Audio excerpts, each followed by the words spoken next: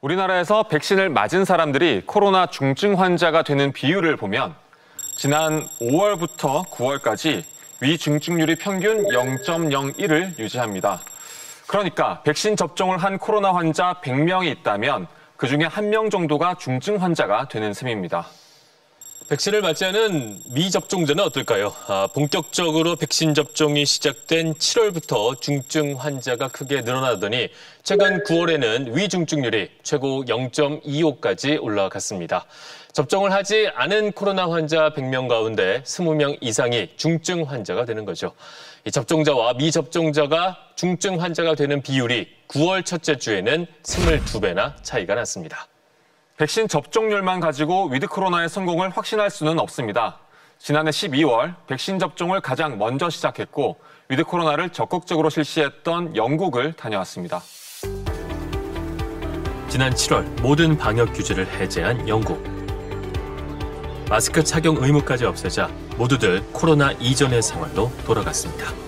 Well, it's, it's, a, it's a great atmosphere. It's lovely to get back to some normality after all this time, really. Yeah. Yeah. And this is a birthday treat for me, and this is my grandson's It's first visit to his the first stadium. visit, so it's a long time coming. How do you feel? I feel excited because like I've never been to this stadium before and it's new to me and you never know what's going to come next. You must finished. We're Yeah. done with that. We're on to the next chapter. Yeah, all done and dusted. Yeah, it's happy. It's happy to see people back, it's you know. strange. it's strange seeing people back, but it's Yeah. nice. 떠났던 축구 관중에 돌아오자 코로나 팬데믹 이후 문을 닫았던 경기장 주변의 가게들도 다시 장사를 시작했습니다. As you can see now, everybody's coming back, not wearing masks. Everybody seems to have forgotten about it. We didn't have it. We weren't here for 15 months. 15 months with no money, but we've recovered. So how do you feel now? Good. Nice to be back to work. 코로나 유행 이후 가게를 열지 못하고 정부 지원금으로 버텼던 자영업자들. 이들이 되찾은 일상은 코로나 이전처럼 돈을 벌 수 있다는 것입니다. Uh, we get 60,000 people every match. 50 to 60,000 people, they come to match here. Every- So we are quite hopeful that it will be picking up business soon. Yeah. So hopefully next match will be something like this today. I think they have a slight uh, thinking of COVID, even myself. But um, life has to go on.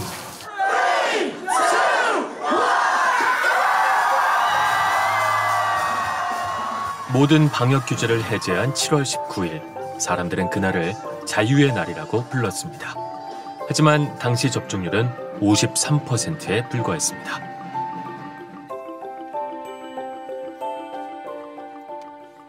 so many have been vaccinated, when further restrictions no longer prevent hospitalizations and deaths, but simply delay the inevitable. And so we have to ask ourselves the question if not now, when? 델타 감염의 유행에도 불구하고 정부는 규제 완화를 강행했습니다. Because the government has realised all along that having restrictions are, is very costly. Um, it costs in terms of the economy. Um, the British economy had its biggest fall in output for 300 years. 영국 의회는 코로나 때문에 지출한 재정이 모두 3,700억 파운드, 약 585조 원에 이른다고 발표했습니다. 방역 규제를 해제하자 경제가 달라졌습니다. 서비스 산업을 중심으로 회복세가 커졌고 GDP 성장률도 증가할 거라는 전망입니다. Once we, whenever we've lifted restrictions, the economy has recovered, you know, really very strongly. Uh, employment's very high.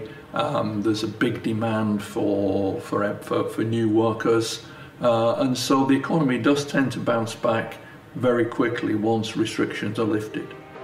문제는 코로나 감염이 또다시 확산되고 있다는 것입니다. 방역 해제와 함께 마스크마저 벗어던진 영국. 감염성이 높은 실내에서는 마스크 착용을 권고하고 있지만 지키는 사람은 찾아보기 힘듭니다. in all honesty, it's hard to say what was the right decision or not. Um, in terms of our customers coming in here, a lot of people have been very um, respectful. People still continue to wear masks and social distance, and then you get a lot of people that have kind of just forgotten all of those um, policies. So it's it's yeah, it's difficult to know what was the right thing to do. 자유의 날 이후부터 예상됐던 감염 확산의 우려는 현실로 드러났습니다. The Health Secretary conceded that the UK case rate could easily hit 100,000 a day. That's more than double what it is now. This hospital was nearly 99% full. That is, in NHS speak, running hot. 전문가들은 이미 위드 코로나의 후폭풍을 경고했습니다. I think most of us in the scientific community were urging caution that we should keep some measures in place for a few more months yet. And that will, has been triggered by the government decision to re- try to return society to normal.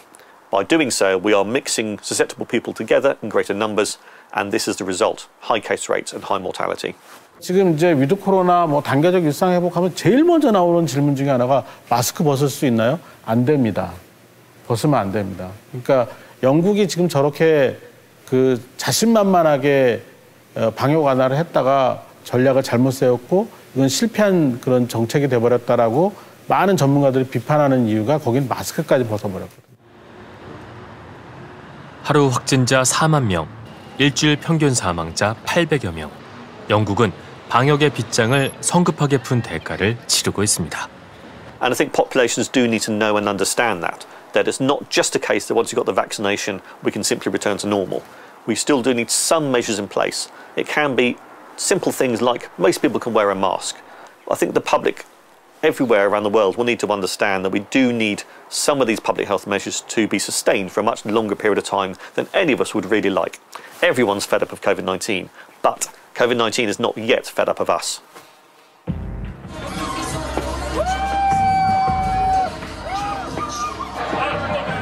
단계적 일상 회복 1단계 직전인 지난 주말의 이태원. 거리는 할로윈을 즐기는 사람들로 인산인해를 이뤘습니다.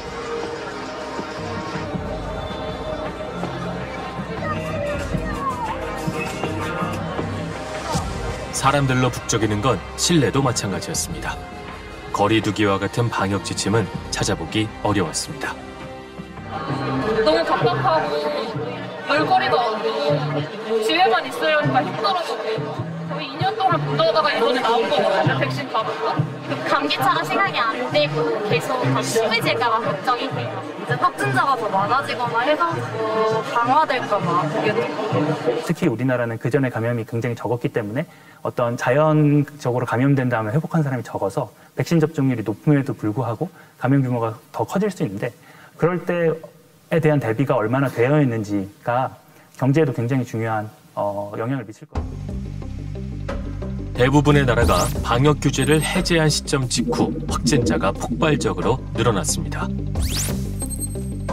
우리나라 역시 크게 다르지 않을 거라는 게 전문가들의 예측입니다.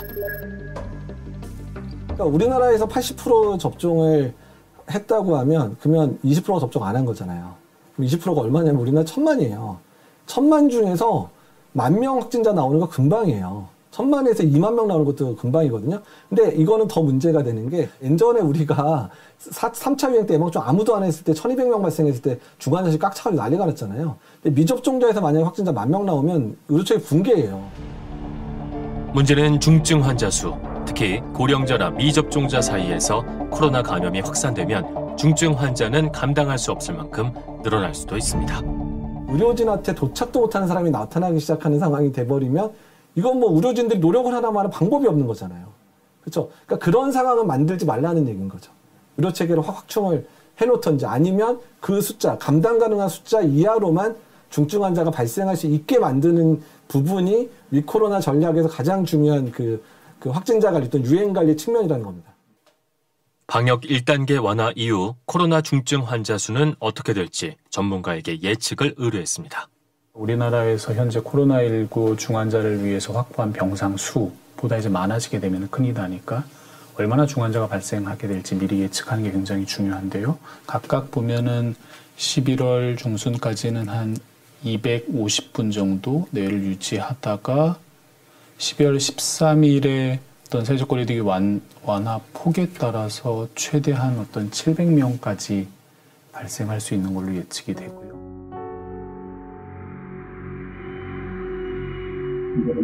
음압 시설을 갖춘 중증 환자 병상 수는 현재까지 약 1000여 개.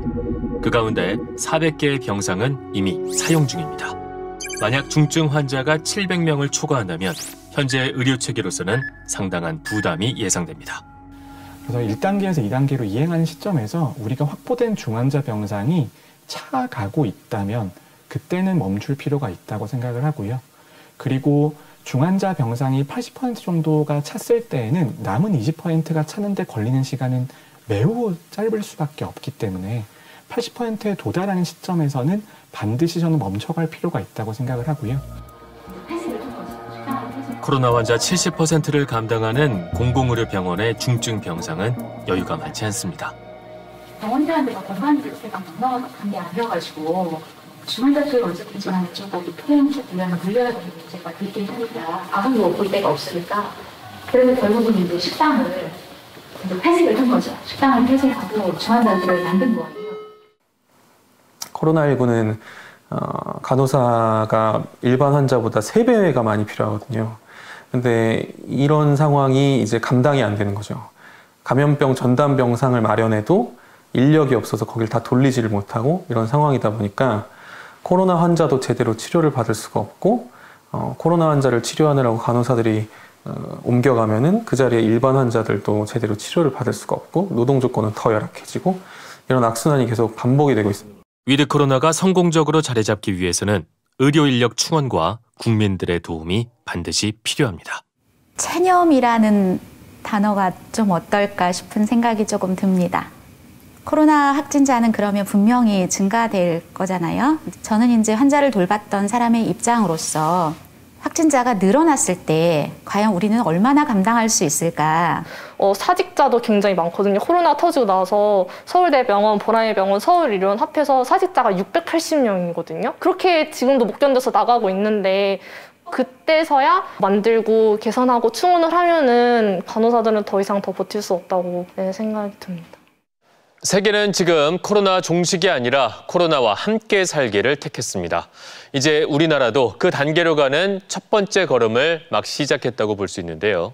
이 방역의 빗장을 푼 다른 나라의 상황을 볼 때 코로나 재확산과 같은 어려움을 예측하는 목소리도 높습니다.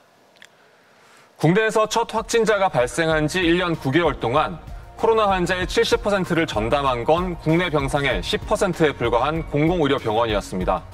이 부족한 공공의료를 확대하고 보건의료 인력을 충원해서 감염병 위기에 대응하는 시스템을 갖추는 게 일상 회복을 위한 전제 조건이라는 현장의 목소리를 잊지 않아야 합니다.